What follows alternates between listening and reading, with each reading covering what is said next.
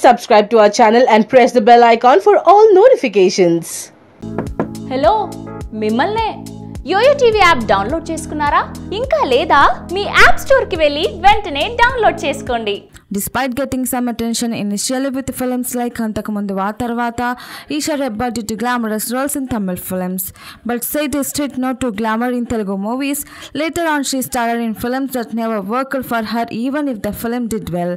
But the success of Ami Tumi helped her get a new beginning. Eesha Rebba bagged a couple of other films, but all those roles cast her in a girl next door character only. Even in NTR's Aravinda Sametha, she is said to be essaying the similar role. But now Eesha is sending glamorous singles to Film Down, sharing some hot pictures of her latest photo shoots. What is that message she is trying to send to filmmakers now?